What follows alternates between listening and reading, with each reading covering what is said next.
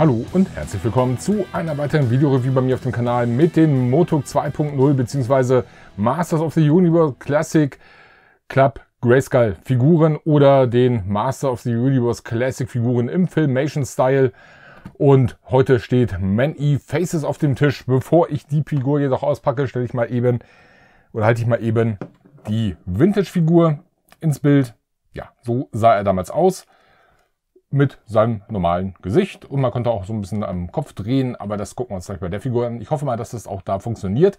Ich habe bislang noch kein Review über die Figur mir angeschaut, um eben äh, unvoreingenommen in diese ganze Sache reinzuschwappen. Ja, der Karton wie gehabt äh, um das Masters of the Universe Logo, darunter dann der Name der Figur oder des Inhaltes.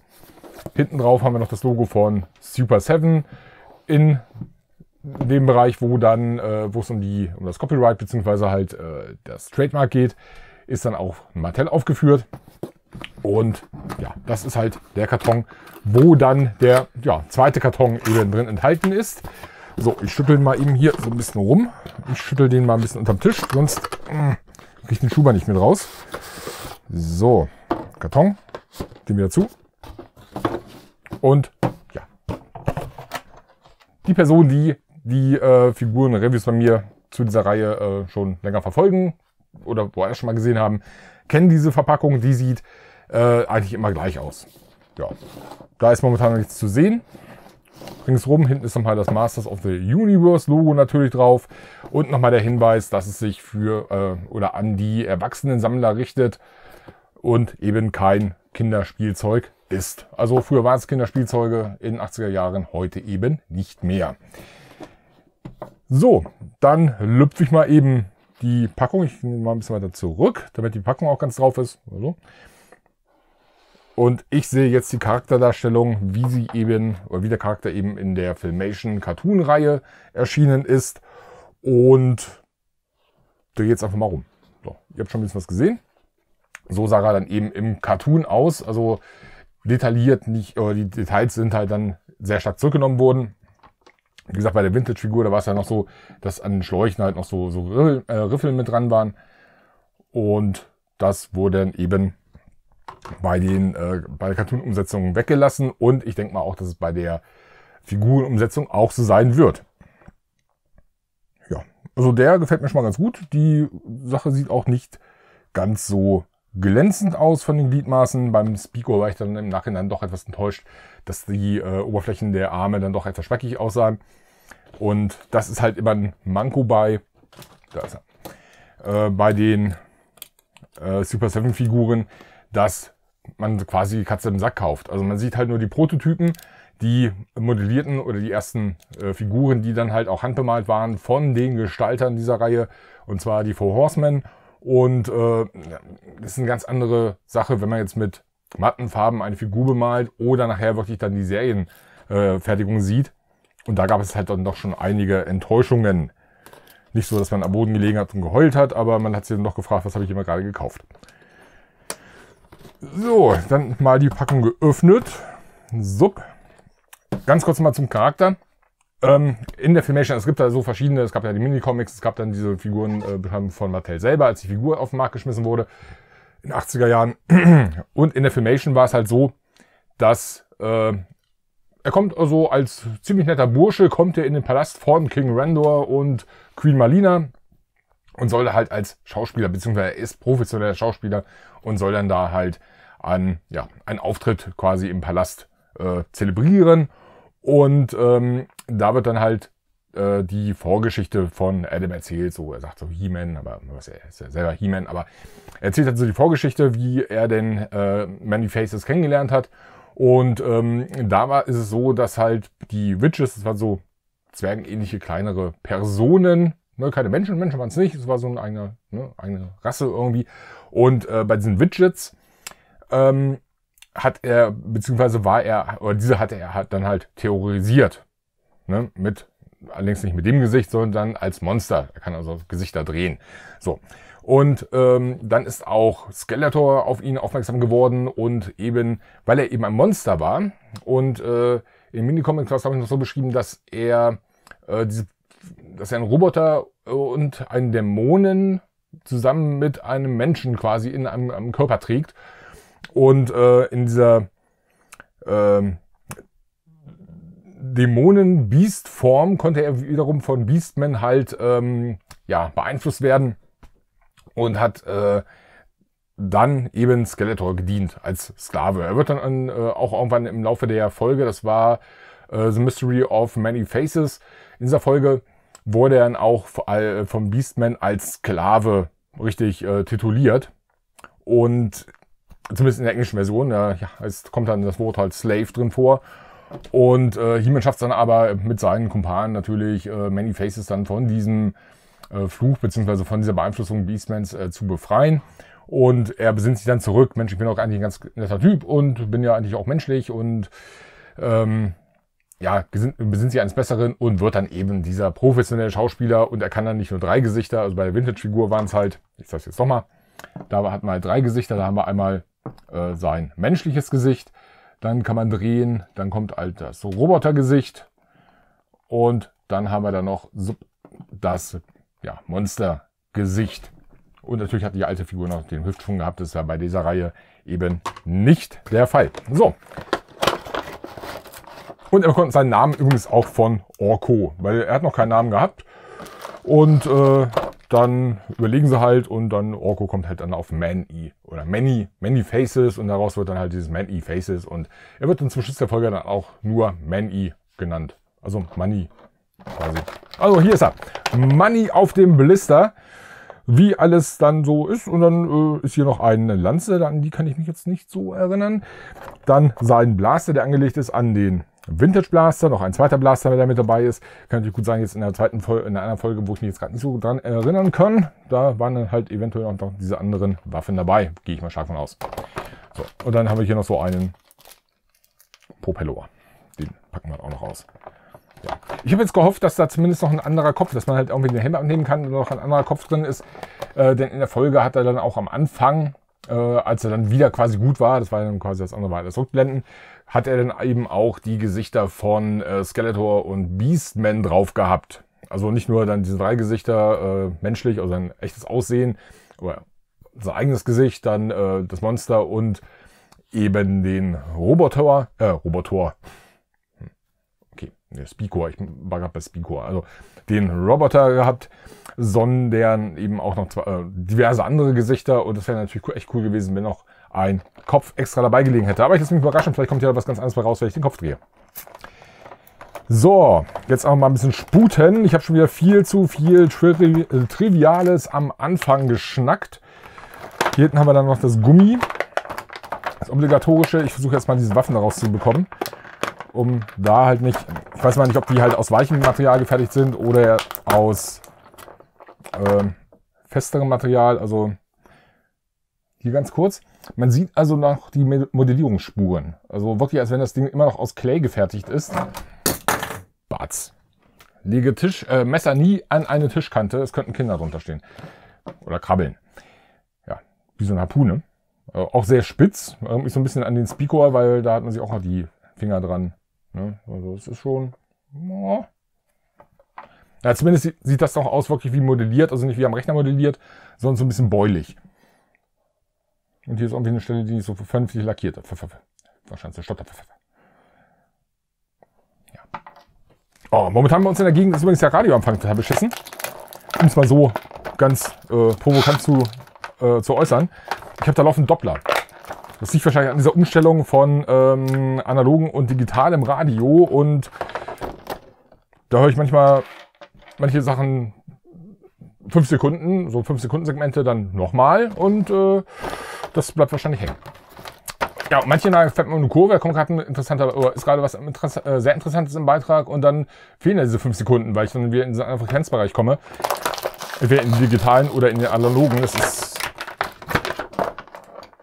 Aber es ist wetterabhängig. Desto besser das Wetter, desto ähm, kürzer sind halt diese Doppler. Oder diese Sequenzen, ja. Man muss ja irgendwie auch jetzt auch ein bisschen was erzählen. Ich muss ja die Zeit überbrücken, wo ich den versuche jetzt aus der Packung zu, zu drücken. Ich muss den hier unten raus. Ich muss erstmal die.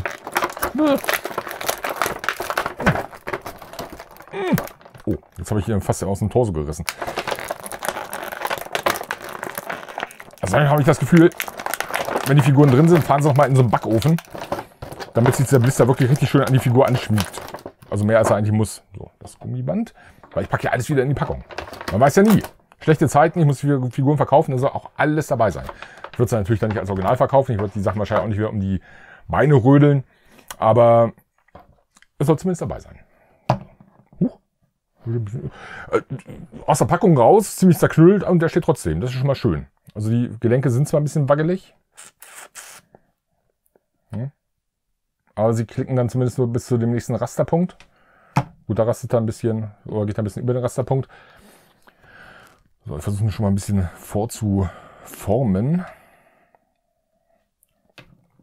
So, auf jeden Fall, ja, drehbaren Kopf haben wir nicht, klar. Ich sehe jetzt auch nicht, wo man jetzt hier das Gesicht drehen kann. Ich muss da rein. Der Knopf fehlt. Moment. Oder muss ich den Helm noch abnehmen? Also der Helm ist auf jeden Fall aufgesetzt, damit das Gesicht da untergeht äh, oder drunter gepackt werden kann. Gut, er lässt sich hier drehen, aber da passiert auch nichts, wenn man jetzt in der Hüfte dreht. Da hatte ich jetzt gerade die, die Hoffnung. Das Gelenk hat er auch. Eben konnte ich nach vorne. Jetzt hängt er fest. Also er klickt jetzt sehr leicht nach hinten, aber nicht mehr nach vorne. Oh, jetzt klickt er nach vorne.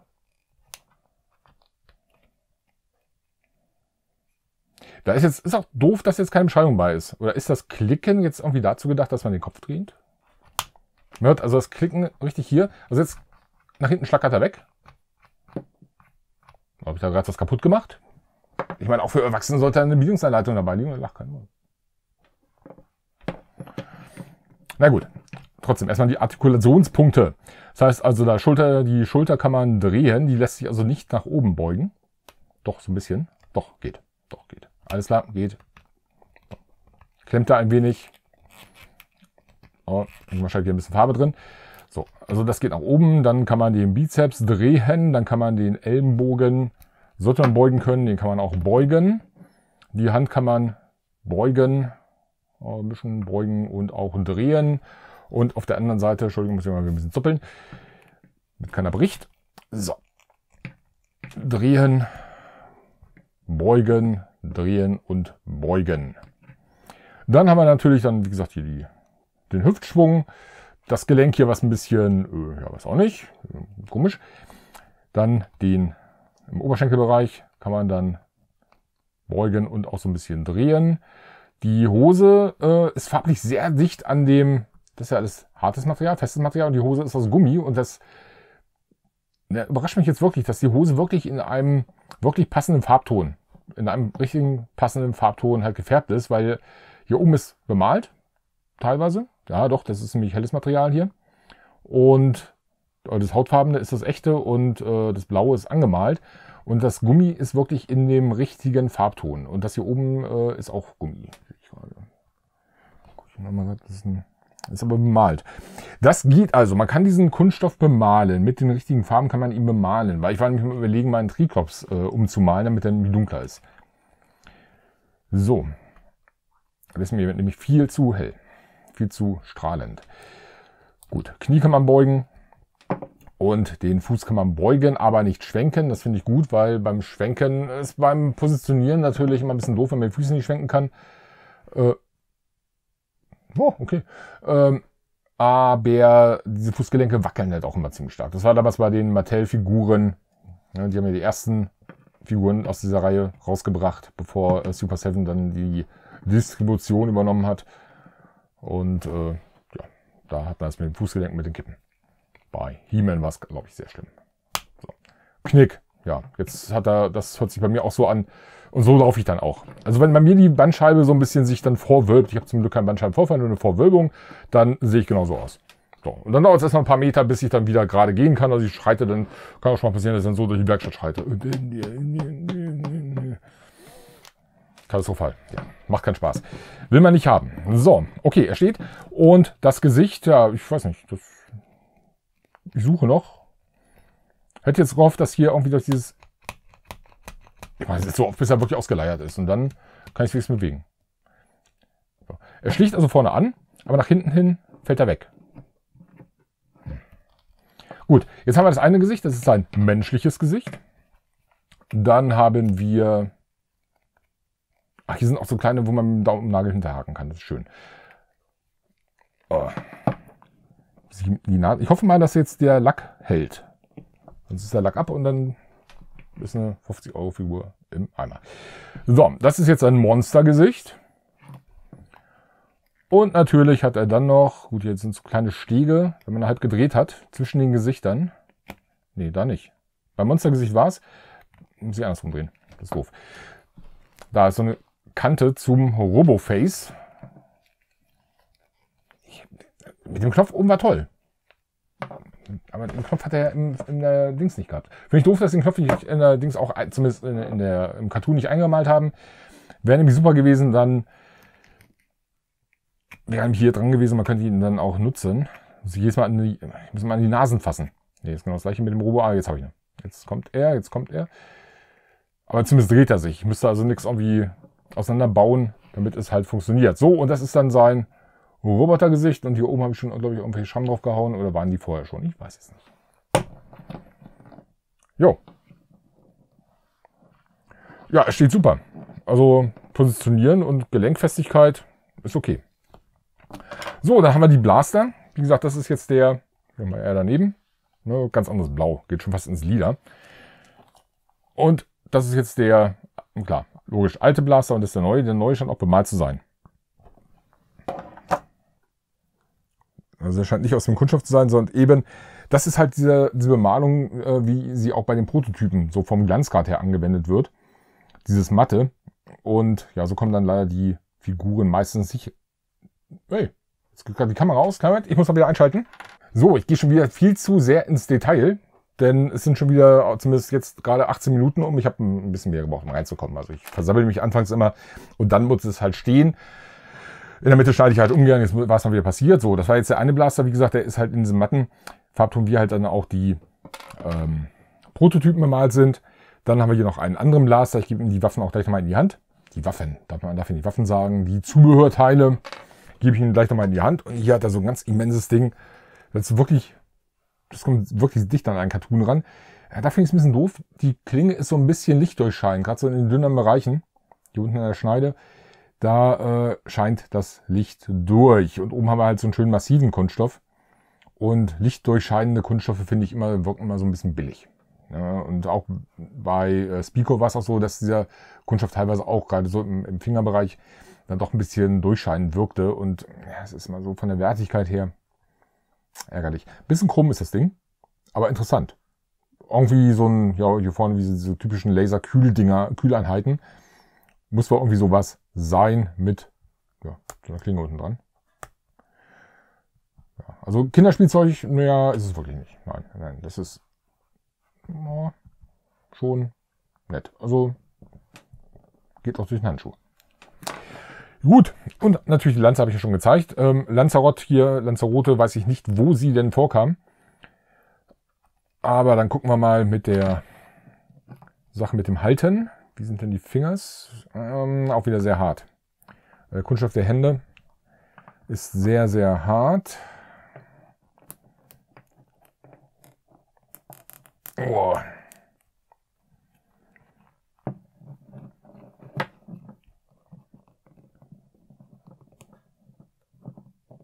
Ich versuche es jetzt wirklich mal. Ich versuche das einfach mal da die von oben reinzuschieben. So. Okay. Also von oben reinschieben und da sieht es jetzt auch nicht so aus, dass da die Farbe abgeplatzt ist. Und die andere Hand ist identisch geformt. Ja, wenn er in die eine Hand geht, dann geht er auch in die andere. Der Blast hat jetzt ja unten so einen, ja, wie so einen kleinen Knauf noch am, am Griff gehabt. Und bei dem, der hat eben keinen, der lässt sich also viel besser reinschieben. Kann auch so ein Scanner oder sowas sein. Ich kann jetzt echt nicht sagen, was es ist. Also war jetzt auch nicht so, dass er in der Filmation jetzt irgendwas hatte. Zumindest in der, in der Folge. Also gut. Jetzt ist er als Robo. Okay. Ich mache jetzt erstmal wieder als normalen. Hier ist es das Monster. The Monster in Me.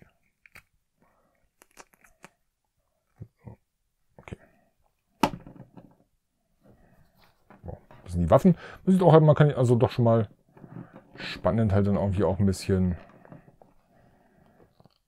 Boah. Ah, das hat die vorhin gar nicht. Nee, ich habe hab vorhin bloß das eine Knie ausprobiert. Stimmt. Husa.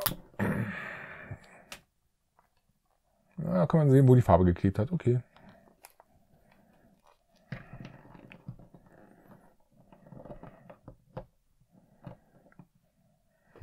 Ein bisschen Action-Pose. Vielleicht von vorne mal wieder ein bisschen doof aus. Ja, wirkt tatsächlich ein bisschen blöd. Ja, ist halt in einer kurzen Zeit hier immer irgendwas hinzubiegen, das ist halt doof. Und wie gesagt, ich schneide ungern. Deswegen, ich lasse sie mal gerade stehen und jeder, der die Figur hat, kann natürlich dann gerne posen mit ihr, wie er dann lustig ist. Oder sie natürlich. Entschuldigung, verehrte Damen, ich wollte euch nicht ausgrenzen. Nicht, dass es hier wieder Schelte gibt.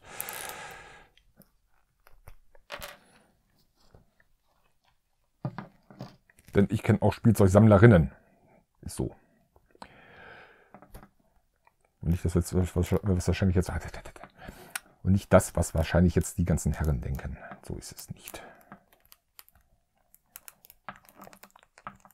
also Mädels sammeln nicht nur Barbie-Puppen. Ist nicht so. Es gibt auch Männer, die Barbie-Puppen sammeln. Habe ich auch mal. So. Ich gebe mir jetzt erstmal die Lanze in einer Hand, aber das geht auch. Können sie also auch tragen. So, kann man wieder rausdrehen und dann nochmal diesen fetten Blaster in die Hand gedrückt. Für meinen Mitstudie von mir. Kunst- und Kulturgeschichte muss dann mal ein Referat schreiben. Was ich, über was ich geschrieben habe, also ein richtiges Buch ist das geworden, aber wir mussten die ganzen Sachen richtig als.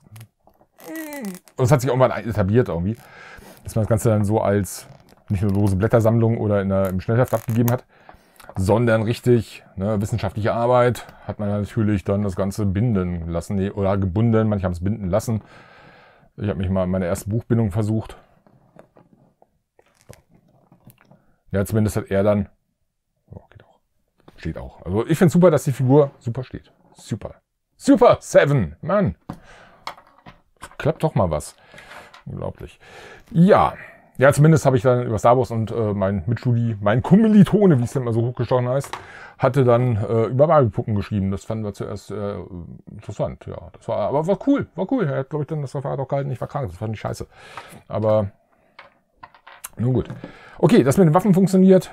Dann mit dem Kopf drehen, also mit den Gesichtern drehen funktioniert. Muss ich bloß das Ding hier, das Riesenteil wieder rauskriegen. Das soll er nämlich nicht halten. Ich wollte ihm, wenn dann, displaye, soll er natürlich den. Ist gerade Spucke. Also soll er natürlich dann den mm, Vintage-mäßigen Blaster bei sich tragen. Und desto mehr ich jetzt gerade hier versuche, die Dinger in die Hand zu drücken, desto mehr bewege ich die Gelenke und desto labberiger wird die Figur. Also da muss man schon sagen, die Gelenke sind jetzt auch nicht so dazu gedacht, dass man laufend die Figuren dann eben neu positioniert. Was hier auch nicht gegeben ist, was bei den anderen Figuren ja der Fall war, dass man in dem Fußbereich, also im Bereich über den Stiefeln, ne, da ungefähr, obwohl die dann die Stiefel aufgehört haben, hier hat er ja komplett die Schienenbeine modelliert, ähm, dass da nochmal gedreht werden konnte und man diese Füße noch so ein bisschen äh, in so eine V-Position bringen konnte und Knick. Und das ist hier nun nicht möglich. Das Ganze muss man dann eben über die Oberschenkelgelenke dann steuern, das Drehen. So, mal kurz gucken, dass er nicht zu doof da steht. Nee, sieht, ja, geht. Okay. Ja, dann bin ich also voll über der Zeit. Ich habe mir eigentlich vorgenommen, so maximal eine Viertelstunde das Ganze aus anzulassen, aber ist mehr geworden. War ja auch ein bisschen mehr. Oh,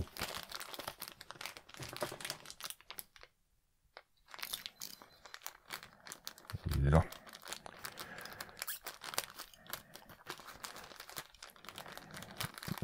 So.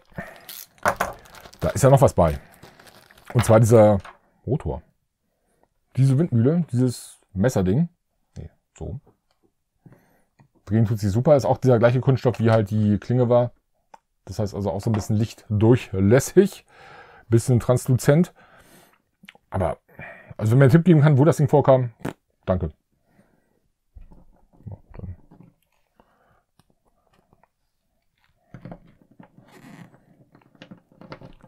Ja, sag mir, wo die Blumen sind. Wo sind sie geblieben? Messer schnitten sie geschwind. So. Genau.